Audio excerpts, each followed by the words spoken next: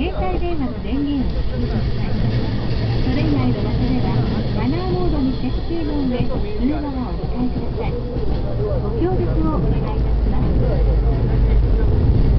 The next station is 板橋 The doors on the right side will close Please switch off your mobile phone when you are near the party seat.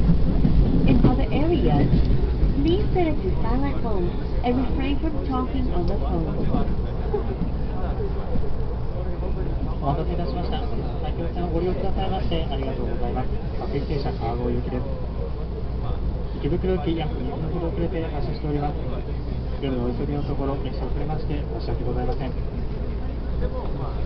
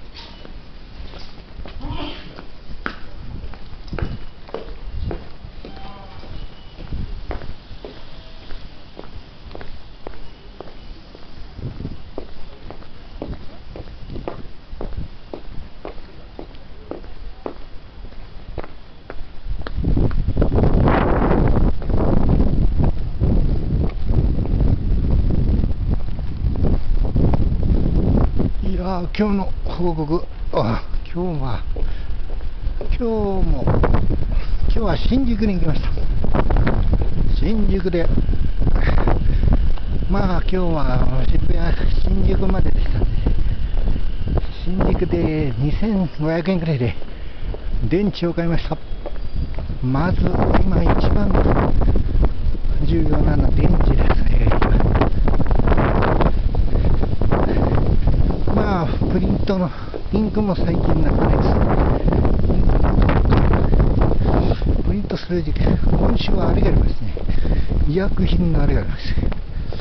まあ、それで iPS を、昨日、記録屋に行って iPS のあれを見た。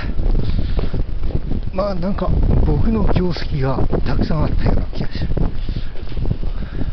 武田薬品、山中教授がちょうどね、200億円の。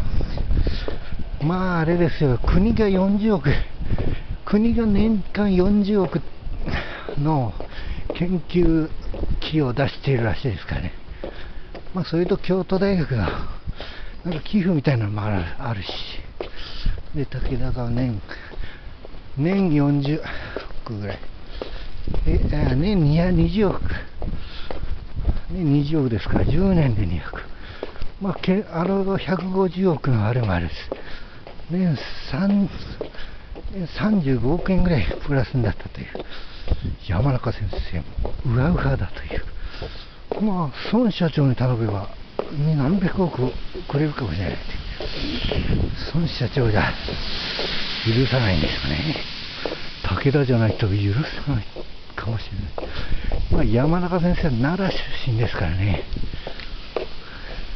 武田長兵衛さんという創業者の方奈良、奈良県から大宮長兵衛さんは始まったという大宮長兵衛さんの武田は奈良県です。だから、さんまさんが武田の申し子というね、さんまさん、奈良県出身ですから山中先生は武田好きなんですね。わかりませんけどね。まあ、薬ができることを祈りますよ。まあ、大阪にも工場があるらしいですからね。大阪工場も、まあ、光工場も何かのお役に立てば嬉しいですけどね。まあ、僕は何の権限もないですけど。まあ、会長の、長谷川会長にお頼みするという。ウェーバー、ブラックス・スミスクラインの、あの、社長はワクチンが専門らしいですからね。ブラックス・スミスクラインのワクチン部だったそうですけど、今のだけなの、クリストファー・ウェーバー社長ですから、ワクチンが専門らしいですけど、武田の光工場のワクチンプラントなんか行ったんじゃないですかね。えー、まあ、外国人の人が、私には外国人は知りませんけど、ほとんど。僕はもっと発展してほしいんですね。藤沢はまだ研究所ができて、昔藤沢は別に研究所じゃなくて、ああいう小瓶とか作ってたよ、藤沢は。麻薬を作ってたんですよ、何度も言いますけど。麻薬を作ってた藤沢は。それを絶対に外に漏らさないという。だったんですけど、なぜか最近、麻薬とかは分かる。そんな